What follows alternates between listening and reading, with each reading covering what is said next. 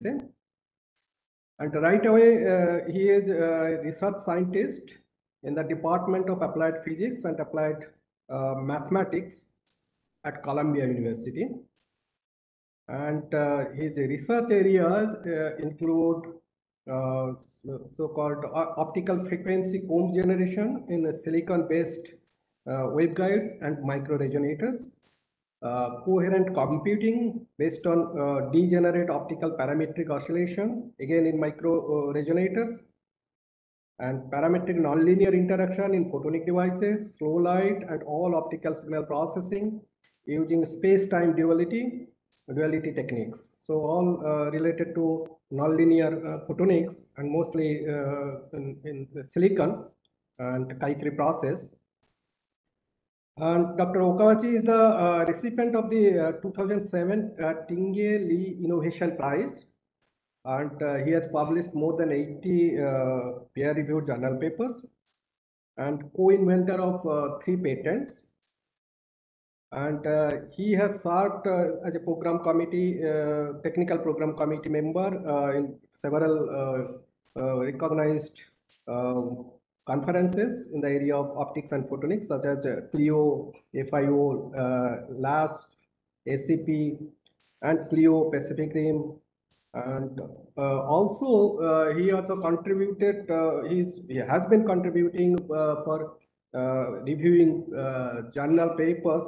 And so almost 26 peer-reviewed journal papers he is contributing for, with his expert review comments. Currently, he is the associate editor of the uh, uh, Optics Letters.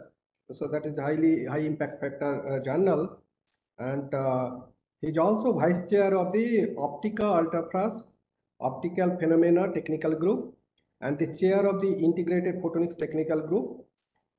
Uh, he is an Optica Fellow and served as the 2017 uh, Optica Ambassador. So earlier it was OSA, Optical Society of America. Recently, it has been uh, converted into Optica, known as Optica. So, Optica Ambassador.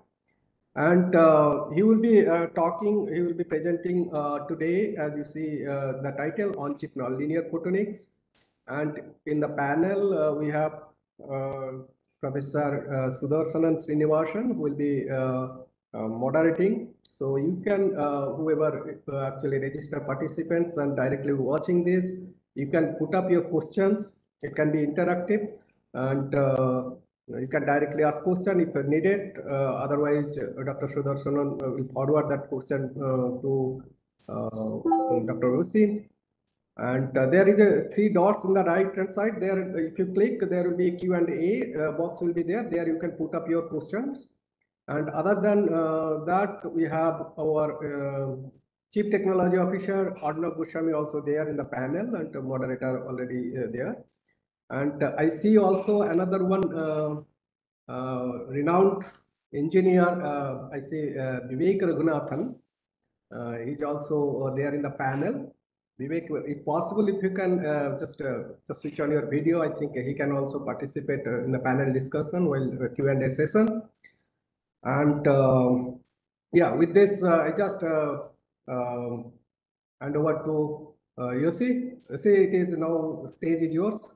Uh, please entertain us for next 45 minutes to one hour. And then following that, we can have some Q&A session. I think uh, that is that would be more interesting, I guess. So over to you, Yossi. Yeah. Great. Um, thank, thanks so much for the kind introduction, and you know, thanks to everybody at uh, IIT Madras for uh, the invitation as well. Really excited to be here. Um, so let me just share my screen. Can everybody see the yeah the, the slide? Okay, great. Um, okay, so uh, so today I'll be talking about you know some of the I, I guess the research that we've been doing um, over the past like five ten years or so on um, integrated uh, nonlinear photonics. Um, so this was worked on at Columbia University. Um, in in uh, Alex Gaeta's lab, um, in very close collaboration also with um, Michal Lipson's group, also at Columbia. Okay, so um, nonlinear optics. So nonlinear optics is the the study of um, light matter interactions, where the optical field is strong enough such that you can actually change the material properties. So on the microscopic scale, you can model this using a Lorentz atom model. So, you know, if you have a um, an electric field that's incident on an atom, that that actually result in an induced di dipole. And the restoring force um, that you can see here um, is a nonlinear function of the displacement of that electron. So this particular restoring force is related to the polarization, and um, you can solve for the polarization using a, a, power series expansion, if you will. So if you take a look, you basically have this uh, second and third term here that correspond to uh, the second and third order nonlinearities, and those are essentially what will um, result in the generation of new frequencies. So for most of this talk, I'll be talking about uh, Chi3 nonlinearities in this case. And um, one of the you know the key nonlinear interactions that I'll be I'll be mainly discussing today is um, parametric four-wave mixing. So um, four-wave mixing is a again a third order nonlinear interaction. In this case, two pump photons annihilate to create the signal and Idler photon pair. Um, so in order to have very efficient uh, four-wave mixing process, you, need two things. One is energy conservation, which effectively defines the frequencies that are involved. And then you have momentum conservation, or I guess more known as phase matching. So typically, in order to have um, you know parametric gain, uh, you require operation where the group velocity dispersion is less than zero, which is the anomalous uh, dispersion regime. So uh, a key enabling uh, development for efficient nonlinear interactions is the implementation of a waveguide geometry, whether it's you know an integrated or a fiber. So if you take a look at the nonlinear parameter or the nonlinear phase shift, um, you can see that it's linearly dependent on the power and also the interaction length. Um, and then you can also see it's inversely dependent on the area. So, you know, if you compare to a focusing geometry in a bulk media, the waveguide can allow for a much longer interaction length which also you know effectively helps to reduce the power requirements as well. so integrated photonics takes this even a step further. Um, there, there's been, you know, I, I, guess if you if you look at look back at the past 5, 10, 15 years or so, there's been a tremendous amount of um, advances in fabrication technology that has led to a development of, you know, numerous photonic platforms for nonlinear optics you know, including silicon, silicon nitride, um, aluminum nitride, lithium niobate, you know, the, the list goes on, right? Um, so today I'll be focusing on silicon nitride. Um, so if you take a look at uh, uh, silicon nitride itself, the nonlinearity is actually pretty high. It's about 10 times larger than that of silica glass. Um, and if you take a look at this waveguide cross-section here, um, you have quite a high index contrast between the silicon nitride core and the, the surrounding oxide cladding. So this this contrast allows for a very tight optical confinement such that you can have you know waveguide geometries that are sub uh, sub wavelength in, in dimension. So not only does this mean that you can have very compact structures, you know, with fairly sharp bends, um, but also this this small um, waveguide area allows for an enhanced nonlinearity since you know the effective nonlinear phase shift is inversely proportional to the the area. So this was work that was led by um, uh, Xingchen Ji from um, Michal Lipson's group at Columbia. Um, so you know, again, this this is really a result of the the, the tremendous advances in fabrication and processing technology. Um, it's possible to now have silicon nitride waveguides with very low propagation losses of you know let, uh, about 0.4 dB per meter. So what this means is on, on this very tiny you know um, um, you know, few millimeter weight, uh, uh, chip chip dimension, you can have you know tens of centimeters of waveguide length to do you know efficient nonlinear optics, delay lines, and so forth. Um, uh, last but not least, um, again, this tight optical confinement leads to a very large contribution from the waveguide dispersion. So what this means is what we can do is just by changing the waveguide cross section, um, you can access you know, a, a, lot of different kind of dispersion profiles. And this is actually very critical for, you know, phase match nonlinear processes such as four-wave mixing. So uh, here's the outline of my talk. Uh, so I'll start by talking about Kerr combs. I'll give a background, uh, talk about some of the work on silicon nitride and near IR, and also talk about some of our more recent work on synchronization and then uh, switch gears and talk about uh, degenerate optical parametric oscillators. So these are all both in uh, silicon nitride microresonators. So um, optical frequency combs are defined as a spectrum of regularly spaced discrete lines. So you have two parameters that define this. One of them is the delta F or the comb spacing. And then you have the, the uh, FCO, which is the carrier envelope offset frequency. So by knowing these two parameters, you can effectively know the absolute frequency of all the different um, you know, frequency components that are generated. And you can you can think of it as um, a frequency ruler for you know a variety of applications. Um, and also because of the the the you know the the comb spacing, you can actually also create a, a direct link between an op, um, between the optical and microwave domain. So uh, comb te technology has become quite mature over the past 10 years or so, and there's been numerous uh, applications that have come out of it, including uh, molecular spectroscopy, ultrafast ranging, optical frequency synthesizers, atomic clocks, uh, communication, OCT, uh, microwave generation, and so forth. So there's also been, you know, a lot of commercial development as well. Um, so there's been a lot of tabletop, um, you know, commercial products that have come out, including Menlo Systems, Toptica, Imra, and so forth. Um, so in our research, what we want to do is take this very large, you know, um, you know, tabletop kind of scale uh, frequency comb and make it into this, you know, centimeter uh, footprint uh, so that we can, you know, realize a handheld uh, uh, frequency comb source with applications, for example, in WDM or lab on a chip.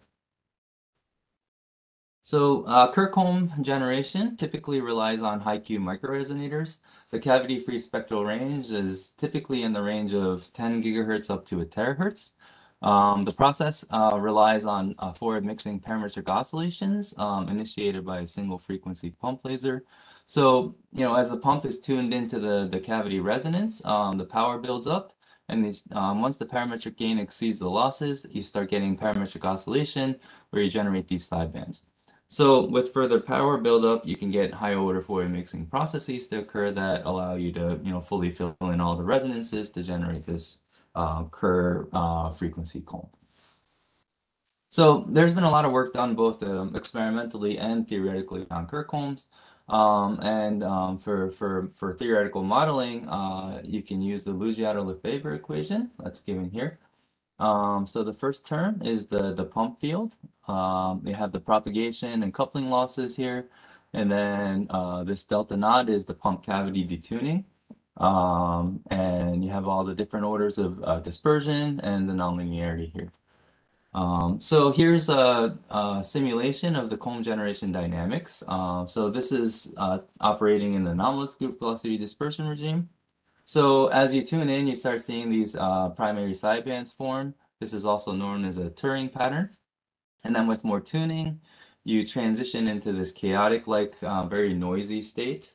Um, so by, by further tuning the, the, the pump into resonance, you can actually transition into a, a multi-pulse state where the pulses start to annihilate. Um, so these, these uh, temporal pulses in this case are known as uh, dissipative Kerr solitons. And uh, they're stable localized structures that, that arise, arise between the balance between loss and gain and dispersion and nonlinearity. And then finally, you know, as you can see here, you can transition into the single soliton state where you basically have one pulse that is circulating in, uh, around that microresonator cavity. So, um, so the, the, the simulation I just showed basically is, uh, op again, operating in the anomalous group velocity dispersion regime. Um, so you can uh, basically um, realize this by engineering the cross-section of the waveguide such that you have this broad region of anomalous group velocity dispersion um, around the pump. And this again is a dissipative Kerr soliton. And you know th this is a, a, specific kind of uh, solution to the the Lugiato-Lefever equation uh, that arises due to the balance between the loss and the parametric gain, and also the balance between dispersion and nonlinearity. So um, uh, so these these are these are some of the the platforms that have been actually demonstrated um, for Kerr comb generation.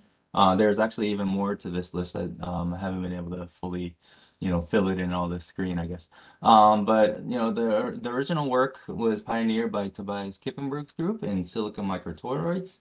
Um, there's been a lot of other groups that have um, worked, for example, on uh, uh, the fluorides, the quartz, and NIST and OE waves and so forth. Uh, uh, for integrated platforms, uh, there's been development in high index glass. uh, silicon nitride, silicon, diamond, and also more recently, um, you know, it, um, there, there's been exciting materials that also exhibit Chi2 um, properties, including aluminum nitride, lithium niobate, and aluminum gallium arsenide. There's also been a lot of different approaches for, for tuning um, and generating the Kerr combs. So, you know, there's the traditional approach of um, uh, laser tuning, um, pump power tuning, um, you know, phase modulation using pulse pump. So um, in our group, uh, what we've been doing is uh, resonance tuning using the thermal optic effect. So what we do is use these um, uh, deposit these uh, platinum resistive uh, heaters directly on top of the waveguide. So you can see that in this microscope image um, with the, the, the structure here that's kind of in white. Um, so what we can do is, you know, thermally tune the cavity re uh, resonance uh, towards a fixed laser um, and to initiate the comb generation process. Um, and we see that, you know, in, even in silicon nitride, the thermal res response time is fairly fast on the order of about 20 microseconds. So, you know, we can readily tune into that soliton state. So here's a typical experimental uh, generation dynamics for soliton mode locking in silicon nitride. Um, so the left here shows the optical spectrum, and then the, the right is the corresponding RF spectrum. So as you tune into resonance, uh, just like in the theory, you start uh, getting these primary sidebands or Turing rolls to form. And then with further tuning, you get into this fully uh, natively spaced comb to form, but you can see uh, in the RF spectrum, you have quite a large RF amplitude noise. So we, we, we call this like the chaotic like behavior. And then with further tuning, you can transition to into a phase lock state where the RF noise, you know, significantly drops. Um, and then you can access also this multi-soliton state where you have multiple solitons propagating in the cavity. And then finally, this single soliton state, which is natively spaced. So more recently, we've been able to take this technology further and basically interface a high-Q silicon nitride microresonator with a with an RSOA uh, device so that we can have both the, the laser and the Kerr comb on the chip. So uh, this was work that was led by Brian Stern and Michal Lipson's group, where the, the RSOA chip, um, that's kind of here, is, is uh, pumped electrically, and then um, you know the, the, the coupling between uh, the RSOA chip and the nitride chip uh, is such that you can get optical feedback from the high-Q microresonator to go all the way back into the RSOA, which allows for lasing, uh, that's shown here, and then subsequent soliton formation. Um, so, you know, this is a fairly efficient process, and you can actually uh, drive the RSOA with a single AAA battery. And, you know, the, the compact uh, nature of this system, uh, we think that it has quite a lot of potential for, you know, realizing a chip scale WDM source for datacom. And, uh, you know, the, there's been, you know, a, a lot of work on this recently um, on this full integration of a Kerr comb also by Kerry Vahala's group at uh, Caltech, John Bowers' group at UCSB, and also Tobias Kippenberg's group at EPFL. So um, there there is there are some drawbacks of using solitons, however, um, and one of the main issues is the the low uh, pump to comb conversion efficiency that you get um, for you know dissipative Kerr solitons. Uh, so typically conversion efficiency is limited to a few percent. Um, the plot on the bottom shows uh, um, the theoretical and experimental characterization of conversion efficiency as a function of the resonator free spectral range. Uh, so if you take a look at the critical coupling conditions between the, the, the bus waveguide and the resonator, um, the efficiency scales as the square root of the free spectral range. And you can see even if you, as you go up to, you know, high FSRs of uh, 600 gigahertz, the efficiency is still less than 3%. So you can you can certainly improve this by operating the overcoupling regime, overcoupled regime, but the efficiency even there is still limited. So, you know, we've been looking into some alternative approaches for in, uh, improving this point. Um, yeah, so you, you can actually generate uh, Kerr combs also in the normal group velocity dispersion uh, regime as well. Um, this is an area that uh, a lot of different groups are getting into, and uh, recently it's been shown that you can get very high conversion efficiencies beyond 40% operating in this regime. Um, but typically, operating in the normal group velocity dispersion regime is not ideal for phase matching um, uh, mixing interactions. So you, you typically need either a, a mode interaction to locally shift the resonances or to use some sort of laser injection locking. So this is how it works. So uh, in our case, we use mode coupling, and what happens is that the interaction that you get between the two interacting modes results in the splitting in the resonance like shown here. So if you take a look at the, you know, the local shift in resonance, um, you can see that the, the position of the resonances shift, uh, like you, you can see down here. And that actually, the, that shift actually allows for phase matching to generate modulation instability sidebands, which help to facilitate comb formation. So, you know, there, there's a lot of different approaches that you can use to do um, mode interactions. You can use, you know, coupling between different uh, spatial modes in the, the resonator. You can use different polarization. Um, and what we did uh, in this case is use a, a, coupled ring geometry where you have a, a main resonator and a bus resonator, uh, and an auxiliary resonator. So um, here, here's a typical uh, microscope image of the, the coupled ring resonator that we use. So we have the bus waveguide like this. And then we have the, the main resonator where a uh, large amount of the power is, and then you have this auxiliary resonator in order to create this mode interaction. So uh, just like in the, the Soliton case, we have these um, integrated resistive heaters. Um, so that that actually can control the rel uh, the the position of the the the resonance uh, frequencies of the auxiliary and main resonators, and that actually is what allows for controlling the the location of the mode crossing as well. So here's a plot of the, the normal GVD uh, comb generation dynamics. So what we do in this case is we start by tuning the auxiliary ring resonance uh, such that we have the mode crossing position very close to the pump. And then what we do is um, you know reduce the heater power um, on the main uh, ring resonance in order to generate the, the comb. So you know the plot here basically shows the generation dynamics as we reduce the heater power.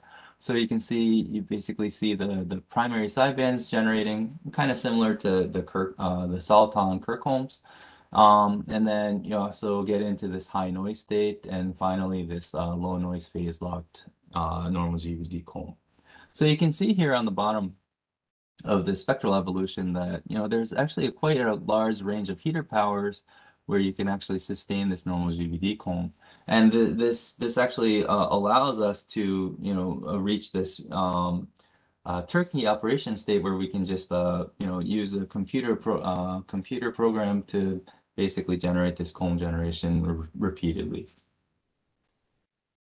So here's a, a typical spectrum um, that we get uh, from the normal GVD comb.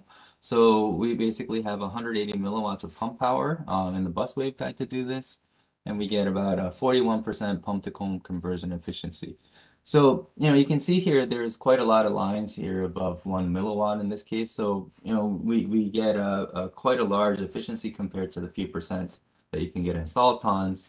And we think that uh, this approach will be more ideal for being able to realize a, uh, uh, WDM source um, potentially for communication applications. So, you know, we've been continuing to look at other ways of being able to improve the comb line power. And another approach that we've looked at is uh, using synchronization. So, you know, the synchronization phenomenon itself is quite ubiquitous in uh, nature. Uh, this was first reported by uh, Christian Huygens in 1665 basically have um, you know two pendulum uh, clocks that are suspended um, um, under a wooden beam and it turns out that the, coupling you get from the small vibrations in that wooden beam allow for the, the, the period of the two pendulum clocks to become mutually locked. So uh, there's a lot of different areas um, uh, where you can actually see synchronization. Uh, you can also see this in uh, nature in the flashing of fireflies uh, crickets chirping, um, uh, pacemakers in um, mammals' hearts. You know, you can see it in physics in Josephson junctions, coupled lasers. Uh, there's actually a very nice paper um, by C. Strogatz at Cornell that reviews uh, synchronization of coupled oscillators and the Kuramoto model for synchronization. Um, so in, in, in this uh, in this work, we'll be focusing on you know the synchronization of optical frequency combs. So um, here's the illustration of the concept. So you can consider two nearly identical microresonators for, for generating Kerr combs um, using the same CW laser. But um, you know whether it's due to fabrication tolerances or environmental fluctuations or even you know temperature gradients, um, the, the, the comb spacing or the repetition rate is different between the primary comb and the secondary comb.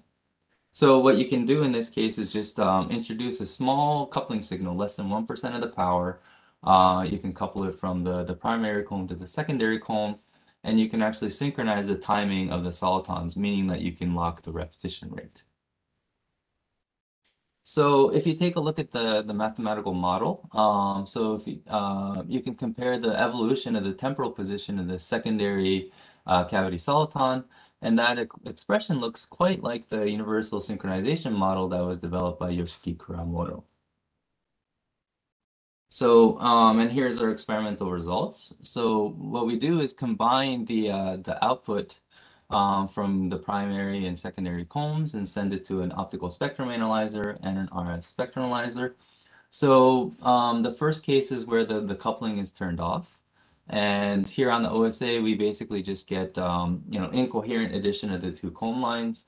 Um, the, the combs have a slightly different spacing, um, which, you know, can't not be resolved with an OSA.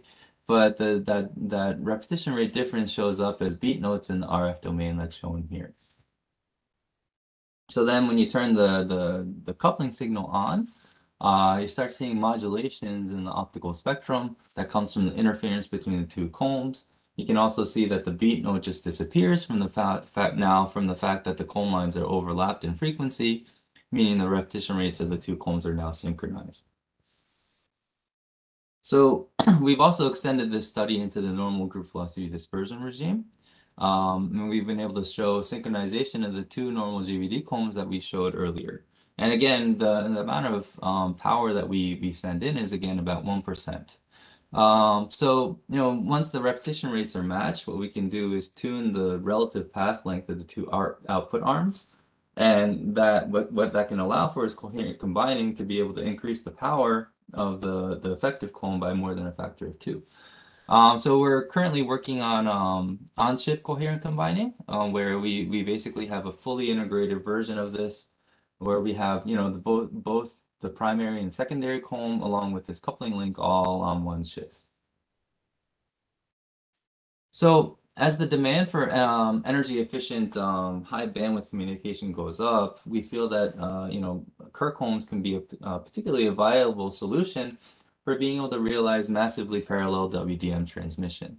So um, we believe that you know by using an uh, aggregated comb source, um, we can implement um, a scalable approach for future data centers, um, um, enabling multi-terabit scale chip-to-chip -chip links, connecting you know high bandwidth uh, memory stacks to graphic process uh, graphics processing units.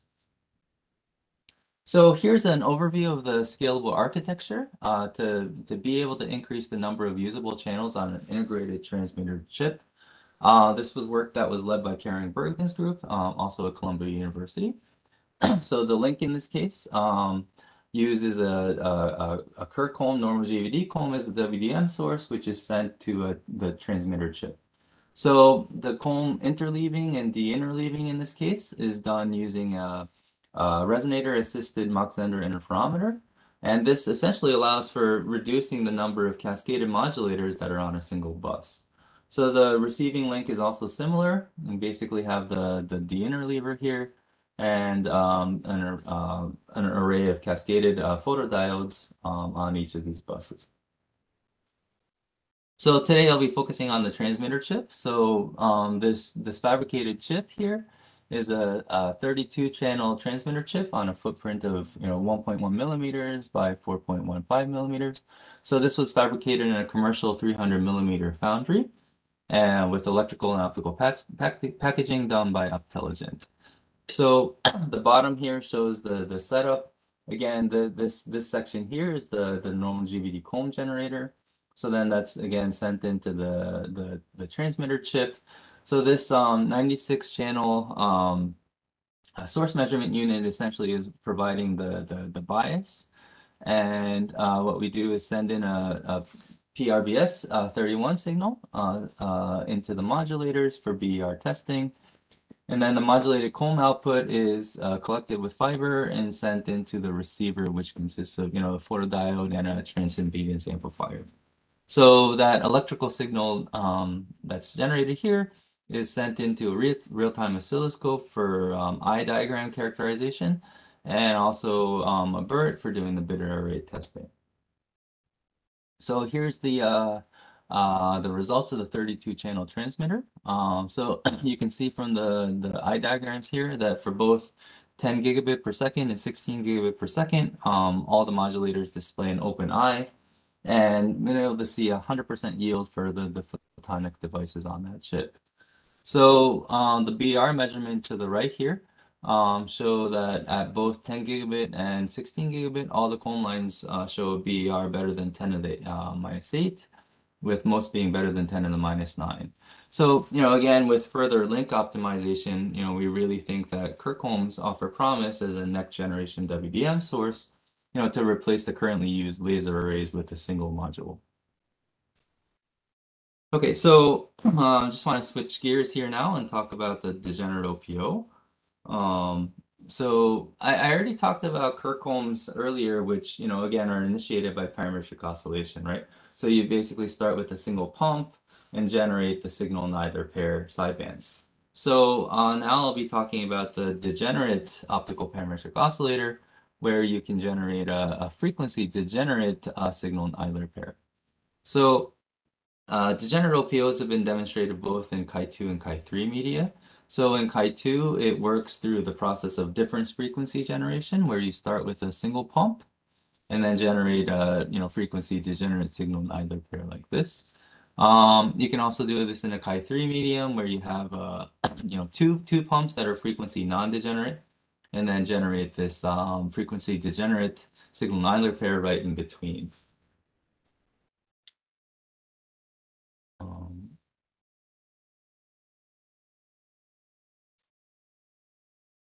So um, it turns out that when the degenerate OPO reaches this oscillation threshold, though, um, it undergoes this binary phase transition. So um, what happens in this case is the signal um, phase locks to the pump with one of two possible states that are offset by pi. Um, so you know th this this largely comes from the phase matching conditions that are shown here. So you know in the Chi2 case and Chi3 case, you can see that there's this factor of two in front of the signal phase. So, you know, you can see that you, know, you can have a, a zero or pi offset, um, and you can still get the same exact phase matching conditions, and that allows for the, the, the rise in this biphase state. So, um, you know, you can consider these two different states, so zero phase to be spin up or spin down.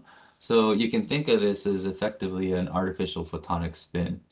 Um, one of the nice um, aspects of degenerate OPOs is that since the OPO is initiated from quantum noise, the the photon spins that are uh, that are produced are intrinsically unbiased, and that allows us to do you know a lot of cool things with it. Um, so just a quick quick theory um, on Chi Chi three degenerate OPOs. So in order to uh, get the get the degenerate OPO to work, you you basically have to have maximum gain at that frequency degeneracy point. So you can also model this using the nonlinear Schrodinger equation uh, where you have the, you know, this is just beta 2, the group velocity dispersion, and you have gamma, which is the nonlinear parameter.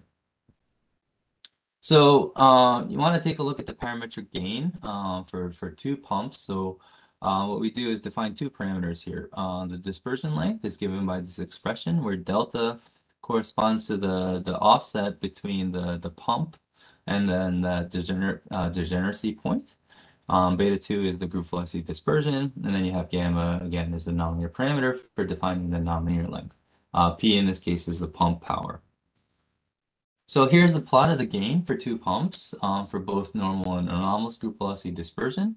So you can see in the top uh, left corner here, when the dispersion length is larger than the nonlinear length, you can actually get the condition where you have the maximum gain at the degeneracy point.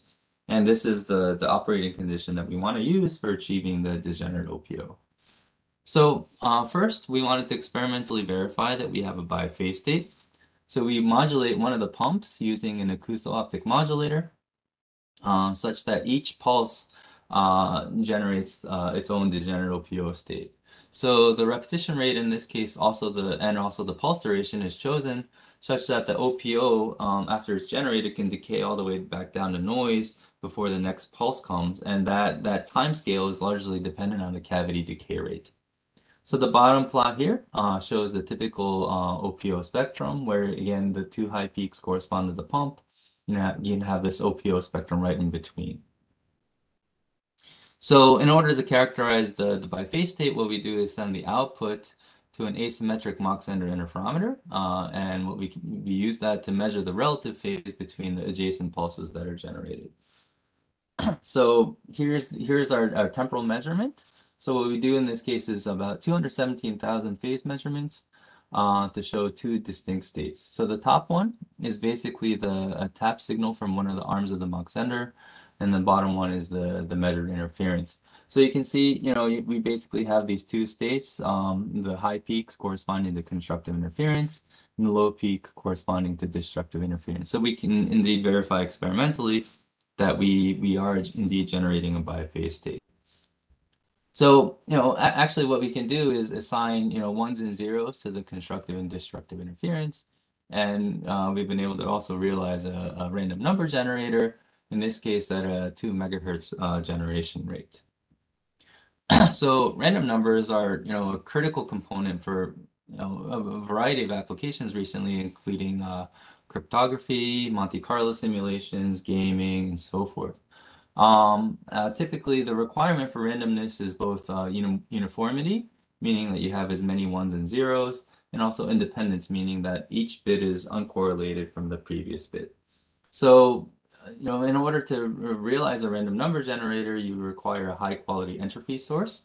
And there's been a lot of um, uh, optical approaches for generating this, including um, amplified spontaneous emission, um, phase noise measurements, uh, photon arrival time, spontaneous Raman scattering, and also photon num number path um, entanglement. So the approach that we've been using is uh, using the degenerate OPO. And again, one of the nice aspects about uh, degenerate OPO is, you know, we're actually measuring a classical signal since we're operating above threshold. And also since um, the, the process is initiated from noise, it's uh, intrinsically unbiased. So in our previous approach that I showed a couple of slides ago, we basically used an off-chip acousto-optic modulator to amplitude one, uh, modulate one of the pulses to generate these bits. So we wanted to do further integration, integration. So what we wanted to do is bring the modulation element on chip. So to do this in silicon nitride, uh, what we do is drive the integrated heaters with uh, uh, thermal uh, thermal tuning in order to you know get the uh, control the resonance position for generating the, the turning on and off the OPO. So if you take a look at the single device, um, you know, if you, so if you modulate with, you know, using uh, the thermal optic effect, what happens is all the resonances shift together. So the, the cavity decay rate in this case is inversely proportional to the Q factor. So in order to speed up that, that process, what we consider is a coupled ring geometry. So in this case, what we do is, um, you know, you, use the mode interaction so that we can implement the avoided mode crossing at that degenerate OPO mode. So what we can do is tune uh, in and out that uh, mode crossing position to turn on and off the OPO. And, you know, in, in this case, what happens is not only do you introduce loss, but you can also introduce a local uh, localized change in the dispersion as well and allow for dynamic control of the photon lifetime. So here's the device. Um, so, you know, we, we designed this coupled microresonator to have a normal group velocity dispersion. The free spectral range also in this case is 200 gigahertz. Um, and we, we, for, for this device, um, when the auxiliary ring is uh, positioned far away in terms of the resonance, we measure a loaded Q of about 720,000, which corresponds to a photon lifetime of 480 picoseconds. Um, and again, um, the these these pads here and the, are are the integrated heaters uh, that we can use to control the position of the the main and auxiliary ring resonances, and effectively control the position where the mode interaction occurs. So here's the generated OPO from the the coupled ring device. So the high peaks again correspond to the pump, and we have the OPO generated in between at 1549.4 nanometers in this case. So, you know, to now to turn on and off the, the OPO, we drive the heater on the auxiliary ring uh, using these RF pulses. Um, you know, again, we choose the, the pulse duration and also the repetition rate in this case so that we can suppress each of the OPOs down to the noise level. Um, here's the uh, temporal measurement. So again, just like before, can assign uh, ones to the constructive interference and zeros to the low peaks for destructive interference. And for this case, we're able to achieve a generation rate of about 505 kilobits per second. And so in order to verify that we have um, good random numbers, um, we took a 101,000 um, bit sequence and sent it to the NIST uh, statistical test suite uh, to test for both uniformity and independence. So here are the test results. Um, so p-value in this case uh, measures the uniformity and proportion measures the independence. And we see that, um, you know, our, our test sample satisfies both uniformity and independence for all the statistical tests, indicating that we can, you know, generate good random numbers. So we've also performed um, uh, modeling of the photon lifetime in both a single and coupled ring uh, system. So the plot, um, the black curve here shows the single ring, and the red one is the coupled ring for similar to our experimental conditions. So um, 1.5 million Q in this case uh, corresponds to the intrinsic. Um, sorry, uh, so the the the the one, Q of 1.5 million corresponds to experimental conditions, and in this case we see a 3.7 times decrease in the photon lifetime indicating that, you know, uh, in principle, we should be able to reach generation rates of about 680 kilohertz. So um, you can further in, uh, uh, achieve an even larger reduction um, by using a strong, stronger drop port coupling, which is this blue curve. And uh, for this case, we're able to see uh, an even larger factor of a uh, factor of 16 reduction, which means that we can uh, reach generation rates of 3 megahertz. And you can see the scaling is even better when you go to higher Qs, meaning that we can we can also use lower pump powers as well. So, you know, while silicon nitride is limited ultimately by the thermal tuning speed, you can imagine you can generate uh, random numbers at even faster rate by using faster tuning mechanisms like uh, carrier injection in silicon or the electro electro-optic effect in Chi2 materials as well. So, you know, we, we think that this could be a, um, an interesting approach for being able to uh, generate a chip scale uh, entropy source. So the last part of the talk, uh, I want to talk about the coherent Ising machine. So um, the Ising model originally was developed um, for modeling phase transitions in ferromagnetism. This can be characterized by a Hamiltonian where you basically have these sigma terms correspond to the spins, and then Jij in this case corresponds to the coupling between the, the different spins. So uh, it turns out um, finding the ground state of such a system corresponds to uh, an NP hard type computation problem. And you can use polynomial time mapping and actually map to other NP complete problems as well. So the the Ising machine falls under a category of computing accelerators, and there's been a, quite a, a bit of interest in developing uh, these kind of accelerators for solving uh, combinatorial optimization problems, where the problem solves uh, problem scales both uh, exponentially, both in time and energy. So there's been a lot of different applications here, including uh, artificial intelligence, bioinformatics, cryptography, and so forth.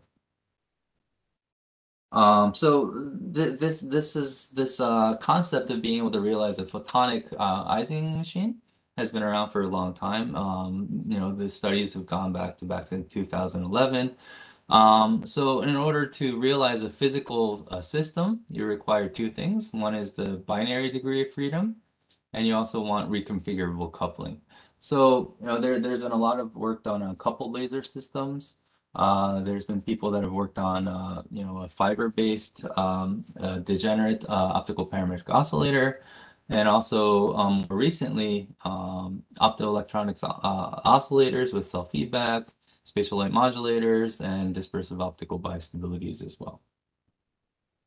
So in our approach, um, we use a, um, a Chi3 optical parametric oscillator and a silicon nitride, silicon nitride microresonator. Um, so here's kind of a concept illustration. So you basically generate all the different OPOs in the rings. And then the coupling is done through spatial multiplexing using these uh, array of coupling waveguides.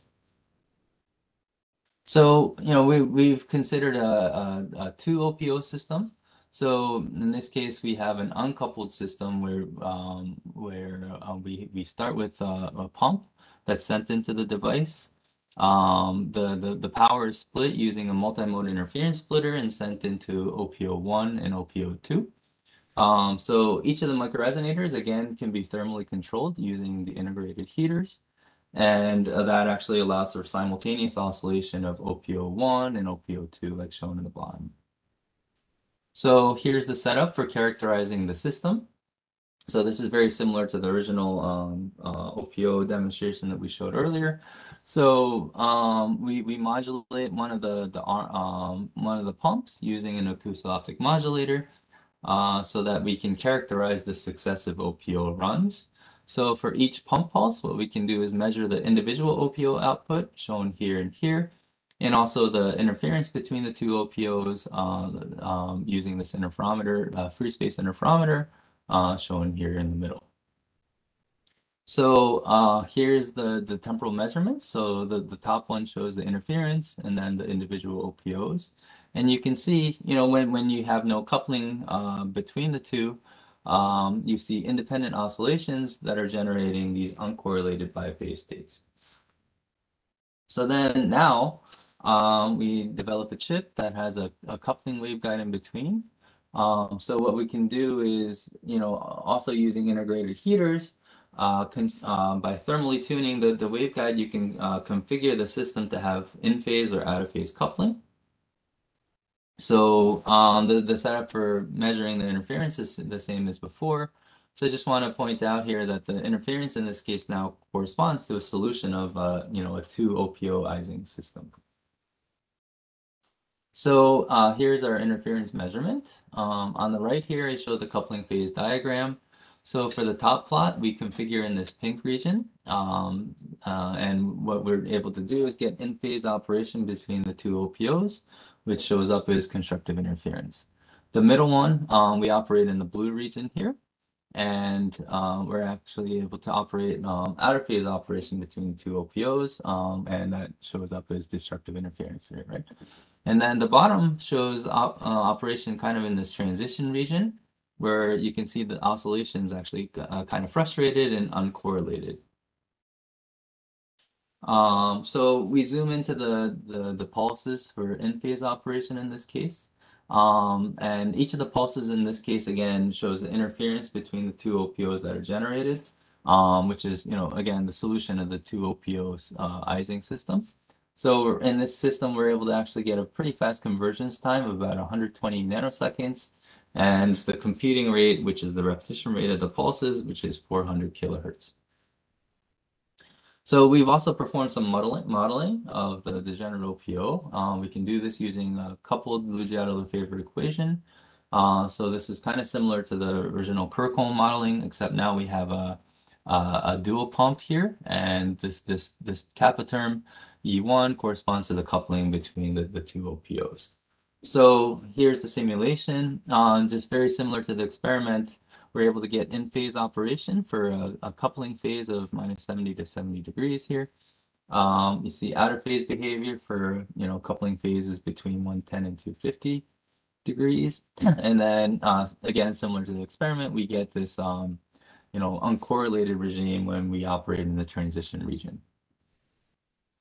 So we've uh, um, actually extended our modeling to a system of 100 OPOs. And in this case, we can simulate a, a max cut problem of undirected graphs with 100 nodes. Uh, this, this is a configuration that's known as the Mobius ladder graph. And it's been used as a, a benchmark problem for evaluating the performance of you know, various uh, physical photonic Ising machines. The plot in this case shows the, the signal power, the signal phase, and also the Ising Hamiltonian for uh, 100 coupled OPOs. And you can see from the evolution of the, the Ising Hamiltonian that the system indeed is uh, attempting to minimize the overall energy, meaning that the you know the, the Ising machine is working. Um, so the our simulation uh, shows an anneal time of about 200 nanoseconds um, with a success probability of 0.35. so this corresponds to a time to solution of uh, 2.1 microseconds, uh, indicating that our system uh, com compares fairly favorably to state-of-the-art electronic and digital systems. So, you know, um, so we've been able to develop a building building block uh, towards a chip scale Ising machine. Um, you know, the bottom in this case shows a fabricated uh, 4OPO chip where we basically have a series of Mach-Zehnder um, uh, interferometers to do the reconfigurable coupling. And we also think that this could be a, a, pretty intriguing platform for being able to study the, the coupled OPO dynamics in the presence of quantum effects. So uh, last, I just wanted to thank all the different um, you know group members from both uh, Alex uh, Gaeta Group and Michal Lipson's group that have contributed to this work, and also all, all of our funding um, uh, funding agents. And uh, thanks very much, everybody, for your attention.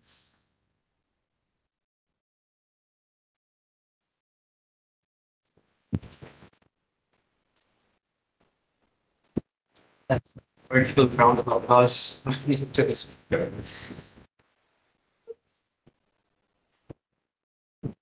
Thank you, usually, um, for a very nice talk. Part of the work that's happening among the two groups. Uh, so there's some, uh, so there's some, your voice is a bit noisy, can you check? Yeah, so can you hear me better now? or- uh, better, better. Yeah, Okay. Uh, well, thank you, Yoshi, for a nice talk. Um, a lot of work that you've covered. Um, I think that's happening in stages over several years. Uh, so um, the stage is open for questions. I have several in the Q&A box. Um, please type in your questions in the Q&A box. We take them in the order they were typed. Um, the first question is from Nagarajan. Uh, it says uh, in the normal GVD case, uh, beta 4 plays a major role in the four-wave mixing process. So what is the value of beta 4 in the proposed comb generator? Um, that's a good question. Um, I, I, I actually can't remember the exact value of beta 4 for our case, but um, you know, so for I, guess what what can happen is if you if you operate in the regime where beta 2 is very small, right, then you can get, you know, phase matching um to, to allow for these like really far away sidebands to generate through the beta 4 phase matching. But in, in this case, um, we're operating in the regime where, you know, for example, beta 2 is larger than um, uh, 100 uh, picoseconds squared per kilometer. So like it's it's a quite a large value. So in that case, um, you know, the the dominant contribution to the the dispersion is um, beta 2. Um, so in, in in the regime that we're operating in, beta 4 doesn't really play much of a role. I hope that answers your question. Uh, so we have our in-house PhD student who's working on. She's gone to town with the questions. Uh, she has about 15 questions of her own. Uh, I'll try to pick a few, but uh, I think this uh, is a good platform to perhaps uh, engage on this discussion even offline. So Pranita, you should probably try and uh, catch up. Um, offline if we don't have time to cover all these. So I'll take up some of these. Um, so we have uh, many materials. So you showed a lot of materials that are being used for uh, comb generation, right? So silicon nitride, uh, silicon carbide, and. Um, you see a clear winner right now? Uh, what what are the material properties that you think is uh, Um, thing that occur from generators. Yeah, so I, I you know, I, I think in terms of integration, um, you know, a lot of the platforms on the bottom, for example, silicon nitride, aluminum nitride, um, lithium niobate, like e e there, there's also been, you know, some other new platforms as well, um, that it's it's eluding me right now in my, in my mind, but like, you know, silicon nitride has become very well developed, um, but uh, you know, like I, I guess in terms of I, guess it really depends on the application. Um, you know, if, if you're operating in the mid-infrared, for example, you you you you want to go to silicon just because of the transparency window, um, or even you know maybe silicon germanium or so forth, right? Um, if if you want to consider doing you know like simultaneous F to 2 F interferometry, for example, if you have a very broad comb, you know, uh, aluminum nitride and lithium niobate might be a nice platform, um, just because of the inherent Chi2. Um, you know, uh, we since we work on silicon nitride, I'll, I'll I'll vouch for silicon nitride in terms of you know the in, in terms of the the losses that have been achieved and you know the a lot of the kind of knowledge in terms of being able to couple in in and out of the device and so forth. Um, so so I I, I I, I guess you know in terms of platforms I, I feel like those are kind of the, the ideal ones to go with um but you know there there's there's still um further development happening even on the other uh, you know some of the newer platforms as well so I, I I'm not so sure it it's you know that I, I guess ultimately um what'll win out is whatever that can be actually you know developed and processed in a foundry for example right so Right. I think that's still to be seen Right, because I think calcium fluoride, I think still holds the record for cube, right? yeah Million or something. Uh, but in Right, so- terms of on chip, I think it's probably the nitride. mhm. yeah Um, so the next question, um, actually there are a few that she's targeting on on on just analyzing these forms. So let's start with the first one, which is the LLE equation, the power equation. Um, what kind of tools do you use to do those numerical simulations? Um, okay, so the, the the question for numerical modeling. Yeah, so so I I mean I I personally use MATLAB. Um, but you know like you can you know there our our, our group also uses Python. Um, I I mean they're they're since since you're largely for most of these uh, simulations since you're using um um the the split step Fourier method, the it's not as computationally intensive you know, like I, I, of course, when you start incorporating, um, you know, Chi2 nonlinearities, for example, then um, it, it becomes a little bit more intensive, and you can't, you no longer can use the split step method to do do it directly. So, you know, but um, largely you could just do it on, you know, a typical, you know, laptop or something. So it's not too intensive. sort of I mean separates from my understanding the envelope of the mm-hmm. optical field from the actual electric field that's fluctuating with the terahertz, right? So Yeah. you don't have the regular issue of trying to discretize that at the optical frequency times scale.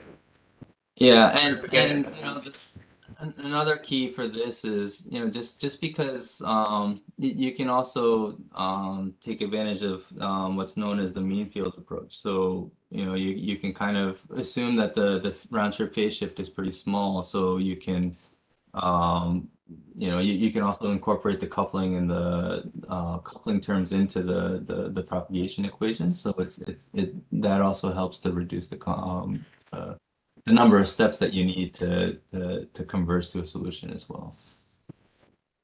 The next one is an interesting one. She's asking what's the origin of the carrier envelope offset frequency.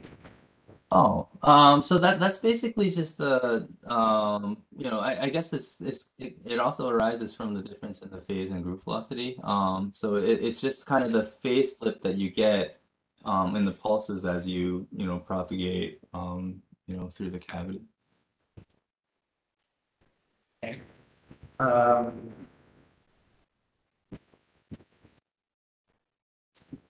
sorry, I'm trying to read the question. I'm thinking. Um, so she wants to understand this concept of modulation instability. Uh, what's the reason of physical phenomena that is responsible for modulation instability?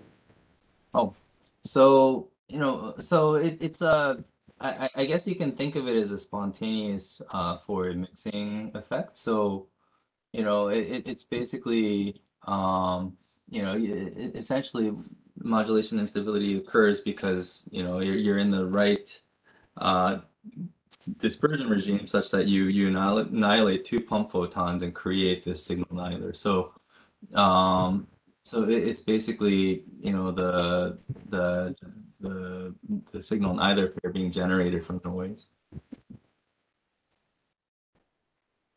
Um, next question.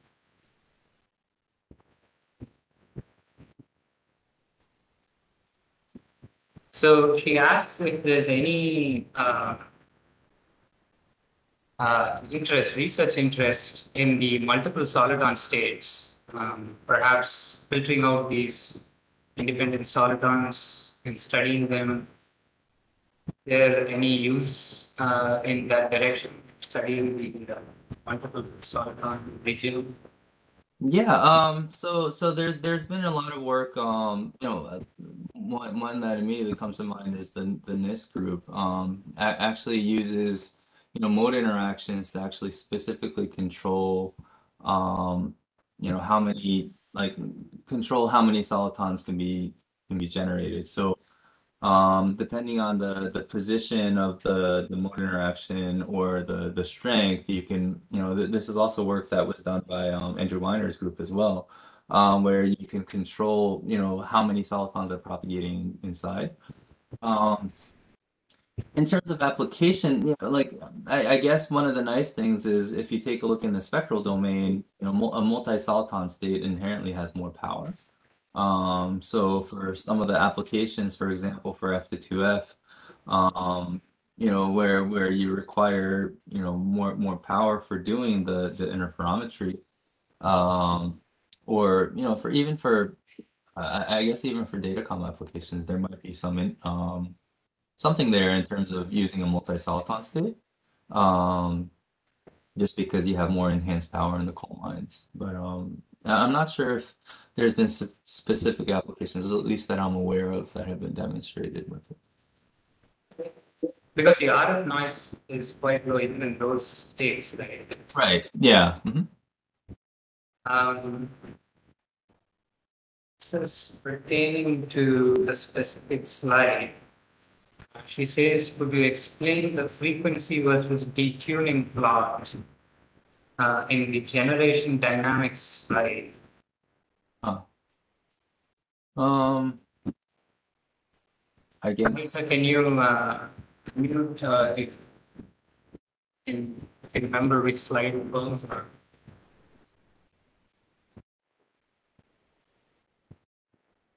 Is it for this one or is it for the uh, normal GVD call?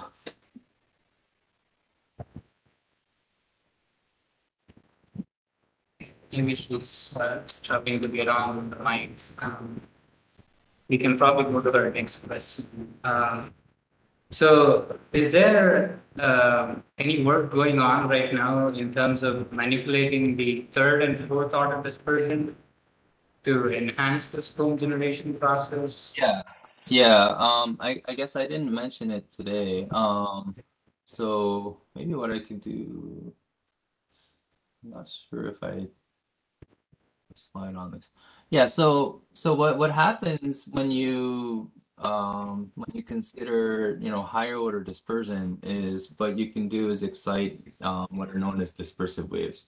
So the, these are, you know, they're they're they're also known as um you know Cherenkov radiation. So the, it's Right. basically a phase match process to generate, you know, uh, a, a a narrow uh, resonance peak, if you will, at a you know far away position. So you know, particularly for doing, you know, very broad combs like octave spanning Kerr combs, for example, the presence of these dispersive waves are really important, um, just because, you know, it, it actually allows you to spectrally, um, you know, broaden the, the wings typically where you want to do um, uh, stabilization, uh, for example. So, Um, and that that's really dependent on beta 3, beta 4, um, like the higher order dispersion terms. So being able to, you know, precisely engineer the waveguide dispersion such that you have, um, you know, the dispersive waves occurring at a specific location is pretty critical. And you know, since since there's there's on the on the wafer scale, there's a lot of variation in the um, film film thickness that you can fabricate, right? So you, require a lot of um, you know mapping of that particular wafer, for example, or or being able to have a lot of different devices so that you know you can actually get the right dispersion profile on the given chip. So um, you know, so yeah, so for certain certainly being able to you know uh, uh, repeatedly being able to generate, uh, you know, deliver devices that can do that, I think is is a current challenge. Um, so the next question is from Shashank. How does the application complexity scale for the on-chip uh, DOPO, DWPO, based coherent Ising machine, increasing number of spins? Yeah. Um. So, so currently, you know, we we we've scaled up and we're working on like a four OPO chip like that I showed at the very end. But um, you know, th this is similar to what I mentioned about the um, you know, finding the right device to do octave uh, octave spanning Kerr combs as well, I guess. Um, you know, like in in, terms of even within a you know a, a centimeter or chip, the you know the, even if you fabricate identical resonators, there's going to be d- variations in the FSR that come from the fact that you know there there's height variations or you know within the fabrication tolerance, right? So. No, it it certainly is a is a challenge. Um, um, being able to go to a large number, and you know perhaps there's um maybe other approaches that you can you can think about to be able to you know um kind of to to have um more consistent uh I, I guess more consistent FSR devices or maybe other ways of being able to generate um the the OPOs itself. Um so that's that's still something that we're thinking about just because you know I I mean for for sure being able to scale to you know 100 OPOs, it sounds quite challenging in this particular platform. So there must be a more elegant approach to be able to do this, and we're we're currently still thinking about that. Um, I had a question regarding this application. uh, Sorry. Um, so these are about 700 nanometer thick nitride, right? Yeah. Um, you grow them in-house, Columbia?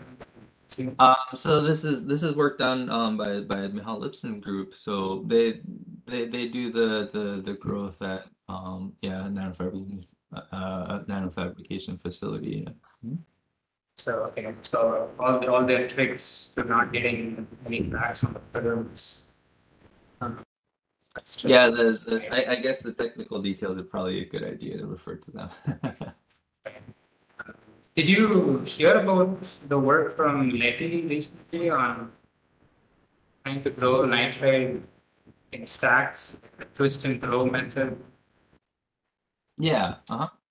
Yeah, I, I think, you know, one one of the one of the things with nitride is there's a lot of stress. So it, it's it's it's quite different from some of the other materials where you can, you know, um you can just like um you, you can do it in one shot. So um there there are certain challenges in terms of being able to, you know, get to the right thickness just because of, of the stress. So you know the the details of the tricks that that are used kind of beyond my pay grade but um yeah So I see uh, Arnav turned on his video. Do you have any questions? Yeah, I have a question regarding the stability of the ring resonance. When you, when you operate high power, did you face anything, any problem with the drifting of the resonance? Or how, how, Um, how will you stabilize it like at high power particularly? actually so that, that's that's a, re- a really good question um so it, it it's actually more unstable at uh, low power um just be, so the you know the environmental fluctuations can potentially make the the resonances drift um you know on the order of tens of megahertz maybe even 100 megahertz um but as you operate at high power especially when you're operating in the um on the the blue side of the resonance I guess what what you get is uh, what's known as um soft thermal lock so basically, the, the the laser power inside the cavity essentially makes the the the resonance kind of stay at that the right position. Because if the resonance drifts a certain direction, then the you know the pump power enhances to shift it back. Or like you know if it goes the other way, then you know the um it, essentially the, the the the the pump cavity detuning ends up getting fixed in that way. Um, and yeah, so it, it, actually is fairly stable, particularly at higher pump power. Um, at least in silicon nitride. So so there are, you know, in other platforms there are other other issues, you know, like there's uh for silicon there's there's there's carriers um you know so you can it'll also kind of restrict the um so that that actually induces actual losses as well um or in lithium niobate, for example, there's photorefractive effects. So, you know, so those those add, add on different stability. So, you know, so there different materials have different um origins of fluctuations. So it's not universal, but know, at least in silicon nitride, um, the large largely the effects are thermal. So, um, you know, I, I I guess I should clarify it also depends on what you're doing. Um, you know, just because for some some applications that even that level of thermal fluctuations become quite an issue. So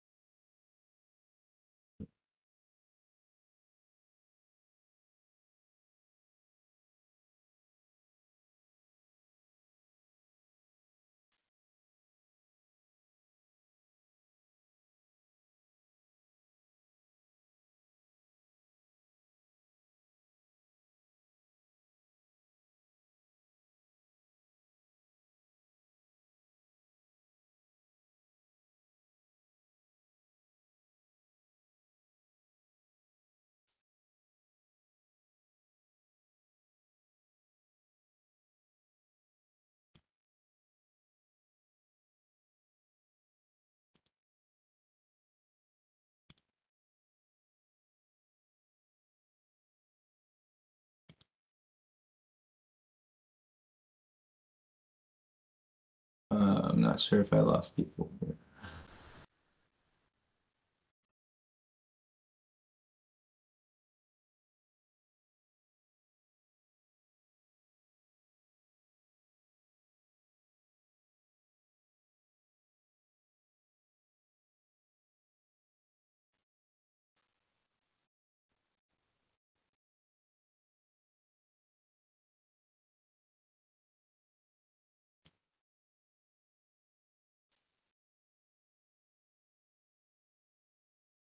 Oh, uh, Yeah, I think there is a power cut here. I think all Okay. things got suddenly, yeah.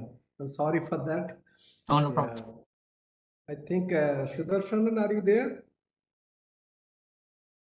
Uh, looks like entire campus uh, gone actually. Oh no. So, so, so that's the problem actually. Yeah. Anyway, I think it is almost over. Uh, I thought of asking a couple of questions. Maybe I can ask now, maybe one to one.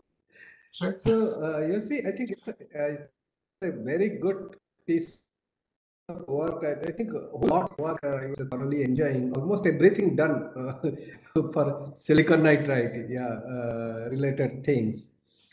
So, uh, my question is, uh, where is the uh, uh, uh, uh, challenge, difficult part uh, in silicon nitride yet to be solved? Um, you know, I I guess I I think the key thing, and I I guess you know, like I I just heard recently that you know people have been starting to be able to do um higher you know higher quality um like LP CVD nitride in foundries as well. So I think that's um you know so that that's that's a big big thing to be solved just because you know like if um in, terms of being able to mass produce these devices if it can only be done in like a uh, you know, university kind of level research, then, you know, it, it kind of defeats the pur purpose of like, you know, like on-chip devices that are supposed to be more like mass fabrication, right?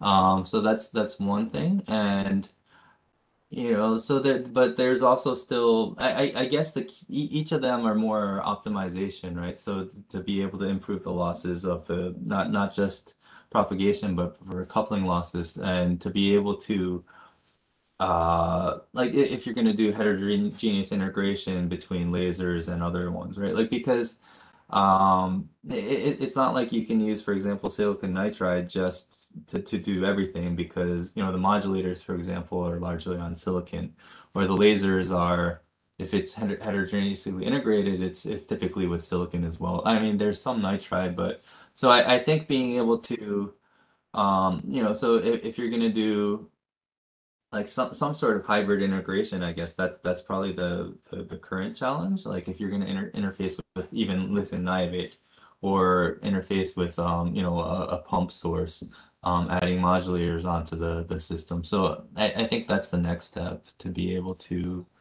um yeah to to be able to have a, a full um, you know, photonic integrated circuit, I guess, that has all these different elements, right? And where where you can incorporate silicon nitride into that. Yeah, so that's a great. I think yeah, that's a good point. I think uh, hybrid integration, uh, I think that would be another option to include all this Yeah. thing. So I, I have one more uh, point because you know for this comb generation, all those type of thing, you are you have to uh, really pump hard uh, you have to go to the Chi3 process uh, uh, threshold, all those type of thing. But you know, another all other nonlinear uh, stuffs like phonon assisted stuffs like Brillouin scattering, all those type of thing. Are you do you need to take under consideration for modeling all those type of thing for getting really to get a compact model to for this type of structure? Or you think that those are negligibly small you can ignore Um, so in silicon nitride, um, uh, you know, people have observed Brillouin, but the effects are very, pretty small. Um, so in terms of modeling, we haven't had to incorporate it. Uh, similar with Raman, um, you know, we we've been actually trying to investigate whether Raman, you know, is a significant um, effect in nit uh, nitride as well. And um, to this point, we haven't really seen it. Like there there's some work that talks about like self-frequency shifting, but recently, you know, we we've actually seen that uh, self-frequency shifting doesn't seem to occur in certain geometries. Um, and you know, we, we we've also done some some quantum measurements, and you know, so one of the things that uh, nitride sof suffers from is fluorescence um, at low wavelengths, right? Like so, if you go down to 800 nanometers you get uh, fluorescence. Um, but at telecom, you know, you don't see those effects either. Um, and I think that has to do with the the the nit like the nitride wafers themselves. So, um, yeah. So at least in terms of silicon nitride modeling, um, you don't have to take those into account. At least that's what it seems. Um, but certainly other plat like you know, silicon, uh, for example, uh, Raman's very strong. It's a narrow band effect, but it's very strong. Same thing with lithium niobate. Um, so you see a lot of these uh, Raman peaks that occur. Um, so for for to to be able to understand the full dynamics, then you definitely have to incorporate Raman. Um, you know, I, I, actually in that sense, um, I, I I guess you do see so I, I guess it hasn't affected our modeling, but you know, you certainly do see, even in nitride, you still see, you know, Chi2 effects. Um, just because you get the, um, you know, let, let, let's say some sort of imperfection or, um, you know, like the the asymmetry that you get in bends, right? Or um, so you still get Chi2 effects, so you, you can see a glow of, you know, red, for example, generating in the waveguide. So you know, like uh, I, I guess the effects are not like they're they're they're not insignificant, but not enough to uh, disturb the comb generation process for most things. So we haven't had to incorporate it, but you know, like certainly when you're modeling, um, you know, like the the F to 2F process, for example, if if you're doing it, for example, in lithium niobate, then you want to incorporate Chi2 effects as well. So just a related question, I think. Uh, well, so people already demonstrated uh, SBS uh, laser Mhm. uh, for uh, especially for gyroscopic measurement. Yeah. So there also there also you need to pump significantly.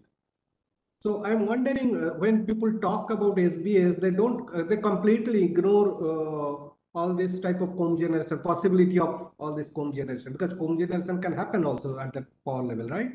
Hmm. So that they completely ignore. Is that the thing? Is that because uh, that that is uh, that that is happening or not happening when you are just uh, encouraging SBS type of uh, uh, things? Then all this comb generation is suppressed completely, or uh, what do you think? Um, because we are starting, we would like to start work on that direction. We would like to uh, know a little bit more about those type of aspects. Yeah, yeah. Yeah, I- observed that, yeah. I guess I haven't been following, you know, to, to that extent, so I haven't I haven't really thought about it too much. Um, but you know, a, a, a lot of those particular lasers rely on more of the um. Yeah, that, that's a good question. Um, yeah, I, I- I haven't taken a look at what the dispersion profile is for uh Because I saw a nature paper, uh, they, they, they target for this, uh, Brillouin scattering laser and uh, they wanted to show some kind of gy gyroscopic rotation, sensing purpose, all those type of thing there. But, uh, in that case also you are ne- needing a lot of power, but uh, they don't, uh, they are completely silent about anything because it is a ring anyway. Hmm. So obviously, this type of comb generation may happen that soliton also may be generating. You Yeah. know. Yeah. I you know, like if you consider fibers though, for example, right? Like if you make a Brillouin um Brillouin laser in a in a fiber geometry, like since since the in in in that regime, you know, SBS is one of the the you know lowest threshold nonlinear interactions that occur. Um, mm, yeah, it, it, it could be that in that regime, it's just that, you know, Brillouin oscillation is the dominant nonlinearity before all the other processes occur. Um, you know, I, I- guess I can't necessarily answer answer that question just because, you know, I haven't quite studied the different dynamics that occur in, in that particular platform. But, you know, at least in the, the fiber-based systems, right? Like, um, you know, before all the other nonlinearities occur, like for example, if you just take a look at data transmission, um, you you want to make sure that you're you're below the Brillouin threshold before anything. So, um, you want to worry about that nonlinearity first. So, uh, you know, like so it, it it could be that you just don't have to worry about the other processes just because, you know, Brillouin happens first. Um, but yeah, I'm not entirely sure. Yeah. Uh, Sudarshanan, because it was just brief power cut, I, I just Yeah, Uh, no, thank you. I'm sorry about that. taken Uh, over and it just dropped because there was a power cut. Yeah, I, I, I tried to ensure that because since morning there are a couple of cou- power cuts happening, I tried to ensure, they said that it will not happen anymore, but it happened actually. So I'm sorry for that, I think uh, there is an interruption. Anyway, I think uh, Sudarshan, you are continuing some question, you can, uh, is that, Yeah, sure. Uh, I don't see any more on my Q and A, perhaps because I left the meeting and came back. Um, yeah. do you see any question, new questions after Shashank's? Uh, There are a couple of comments, let me see, I think something. Okay, the Pranita, I think bombarding a lot of questions. That's good. I think she should just engage Yeah. with uh, the speaker perhaps offline or maybe someone in the group as well. So I think uh, you, you see, uh, we have a uh, student Pranita. Uh, she is heavily uh, studying all of your paper. I think she she has a lot of questions. She may. I will ask her to communicate offline and uh, please help her.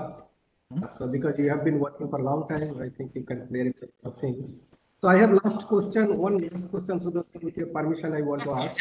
Uh, yeah, so, uh, you, you, whenever you plan for an experiment, you design the device, right? A ring resonator, all those type of thing, right? Mhm. So, uh, is there anything, what specific, other than your waveguide dimension uh, related uh, dispersion, etc. What about coupling uh, uh, things y- y- you co- uh, consider? Don't you think about that uh, tuning uh, bit of coupling would help or increasing the efficiency or you get one more freedom uh, for optimizing your uh, device performance? Oh, um, so so by by coupling, do you mean the the coupling between the the you know, the bus Bus waveguide and and the ring. ring? Yeah, yeah. Yeah, so um yeah, for for sure. Like so so you know, typically operating in the the overcoupled regime for normal GVD combs allows for a much higher efficiency combs, and that that's the case for solitons as well. Um, so you know, we we we, we certainly take a look. Um, like I, I guess if you uh let me see if I have an example. Um you know, so what what we what we typically do in in this case, like e even for this. Oh, I guess I'm not sharing my slides anymore. Um, you know, so so what we do is, is certainly, you know, have a range of, you know, bus ring gaps, right? Like um in, in terms of being able to test them just because, you know, there there are variations in Q that happen um per per run. Um, so what we want to do is be able to kind of cover all of our bases. So, um, you know, we, we have different different ring bus gaps that we, we like to explore just so that we we we are operating in the right regime. Um, and it, it's I, I guess for um gap it, it's it's kind of similar because um you know your di different strength there also affects the the the strength of your mode splitting that occurs for normal GVD formation. Um, so, you know, when, when you're starting off with a new device, certainly we want to kind of have a range of those as well, just because, you know, we don't, you know, we, we, we do our initial modeling to try to understand that, but, you know, the, the, the theory doesn't necessarily match up with experiment every single time. So, Yeah, Yeah, one, one, one, one more question uh, related. For example, uh, this cup, uh, you have just shown that some kind of DWDM transmitters, etc. In those applications, uh, you your fiber in, in fire coupling, or I, I don't think it is a grating coupler, right? In fire coupling, just uh, butt coupled fiber, right? yeah, so we just On- use a, for, for input output coupling, a lot of times we use um, a lens fiber. So, you know, we try to match fiber. the mode um, of the lens fiber to the, the mode at the, the faceted waveguide. Yeah. So, uh, so those are uh, quite stable, I think. Yeah, coupling. Yeah. Yeah. So without pigtailing, uh, fiber pigtailing, etc., when you continue e- experiment, it is uh, relatively stable, you feel, yeah?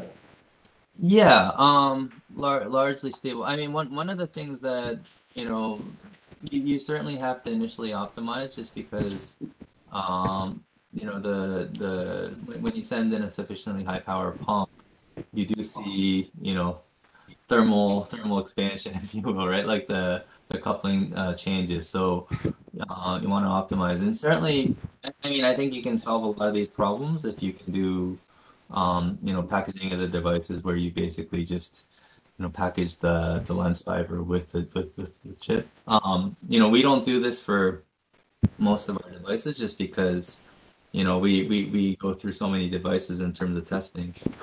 It, it just doesn't make sense to do the packaging and to make it robust. But, you know, there, there's been a lot of work uh, that people have done on, you know, making robust packaging as well. So um, that that's I don't think that's fundamental. Yeah, good. Okay, I am. I- uh, So yeah, thanks, Vijay. Um, I just had one follow-up to the Datacom result. Um, so I noticed that you tried to push in the same data rate across all the comb lines. Did you try and maximize that by kind of pushing more data on the lines that have a higher signal to noise, as opposed to the ones at the Oh, are- are you talking about the the datacom application? right? Um, uh, sorry, I, I think I missed the first part of what you you, you mentioned. If you can repeat. So that. yeah, I think there were two sets of eye diagrams you showed at 10 and 16K or something, right? So um, you were using the same data rate on all comb lines. Yeah. I was just curious if you thought about uh, given that you work with Keren Bergman, um, Mhm. is there a reason to actually be at the same data rate for all comb lines, or should we be using higher data rates at the ones which have higher signal to noise in telecom, Oh. as opposed to the ones Well, that? that, that's that's that's an interesting question. Um, yeah, I, I guess you know in terms of optimization of the the link, yeah, maybe that's a way to go. I I I, I actually haven't thought about it, so I'm not entirely sure. But yeah, I mean it, it does make sense. Um, just because you know like the the comb equalization isn't necessarily happening, so I think that's definitely a wor- uh, uh, uh something that's worth thinking about. Um, yeah, that's And a, what's that's the a, company that does the packaging for you with the edge cup? Again, I Oh, think you um, mentioned it. Is- This, this was um Optelligent is the, the Optelligent. company that use for this. So they do packaging for like extra, do you have to go through AIM to get to them or? Oh, that, that part I'm not sure. This, this was all, you know, like the the transmitter chip development was done all by Keren's group, so that part I'm not sure. Cool. All right, if there are no more questions, uh, let's thank the speaker again. Uh, thanks, Yoshi. That was an excellent job. And thanks for your time. And uh, I'll hand it over to uh, Deeptashri. Yes, she can give some concluding remarks. And Vijay, if you want to say a word or two. Diptasri, are you there? Uh, see, not- Anyway, I think, uh, yeah, thank you once again, and uh, thank you all, uh, the audience for putting uh, so much question, interesting questions. I think uh, it's a very uh, in- interesting session. We enjoyed a lot, and thank you very much, see, once again for your valuable time, so much in the early morning, and hopefully we will keep it up and for future collaboration. And our next webinar speaker is, yeah, Dr. Vivek Raghunathan. Uh, he will be coming up in the first of uh, June, I think. Uh, yeah.